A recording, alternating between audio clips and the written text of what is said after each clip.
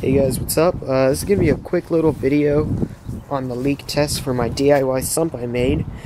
Um, sorry for the amount of glare and the brightness. Um, I'm outside, obviously, and the sun is like right on top of me, almost. Um, but anyways, I already pre-filled the sump halfway, or almost halfway to save time on video, um, so you know, guys, you guys don't get bored. Uh, so what I'm going to be using is a paper towel. And I'm just going to, I already recognized there was a leak here.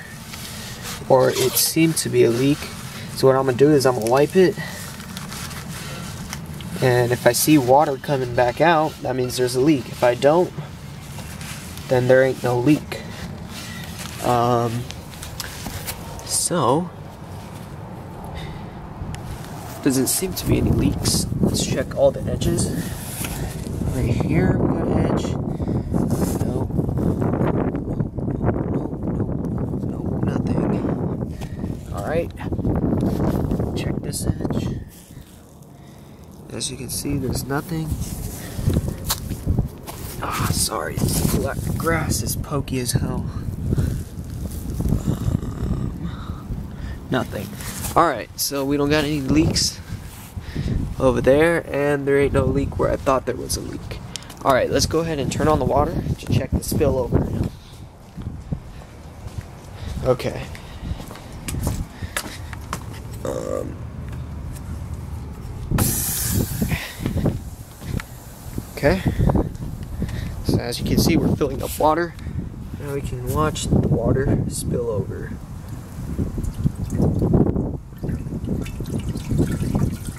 We got a perfect spillover. Alright, now let's check this area for leaks. Um, the reason I have cardboard under is to level it out and also if there is a leak I'll see it um, really easily. So yeah. So as you can see we got a perfect spillover. Um, it's nice and even. Um, so that means the glass is straight, thankfully.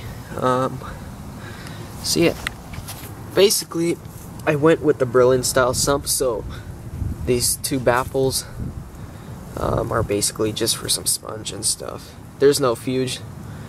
Um, let's go ahead and let you see a full front view. Alright, so as I said before, it is a Berlin style sump. Um, so from there to there is about, I would say, 27 inches or so, 26, um, and then 16 inches wide. Um, and basically it stops up here. I'm gonna have my skimmer, my bio pellets, and all that. And then it's gonna spill over, go through some sponges, maybe some carbon, uh, Chemi Pure, whatever. Then it's gonna go into my return section right there and that's gonna stop bubbles and stuff. Um, so yeah.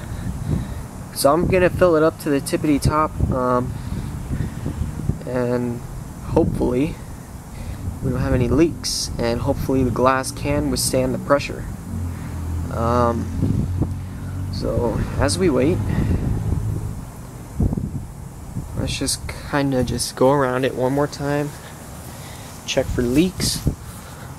Um, I'm going to be leaving the tank full of water for a good two days to make sure it can withstand the pressure.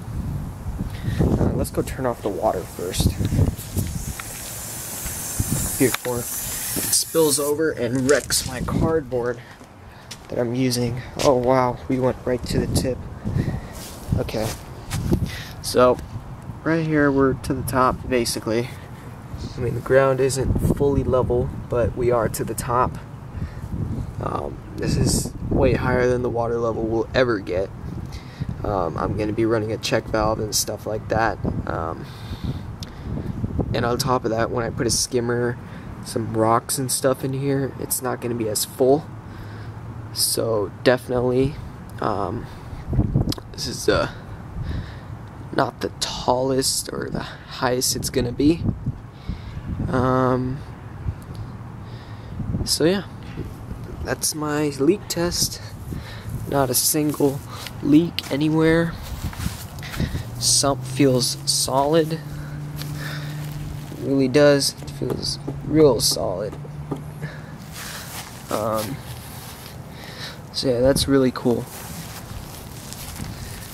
Alright, so yeah, that's my DIY sump build test, leak test. And that is my DIY sump, which is amazing, and I love it. Um, I'm really glad I didn't buy a Trigger Systems. I saved myself at least $200 and I got what I wanted and what I needed. Um, and fuges are starting to become useless. Um, so, yeah, that's about it. This thing is a monster. I mean, compare that to my shoe. Thing's huge. Or to that garden hose. hose. Um, but geez, that thing's fat. Uh, so yeah, thanks for watching, and sorry for wasting your time and making this video really long. Um, I tried to make it short, but anyways, if you like the video, I would really appreciate a like, and if you want to keep up with my new tank build, and if you want to keep up with what I'm doing with my tanks and stuff, just subscribe. I'd really appreciate that too. So yeah, thanks for watching, and bye.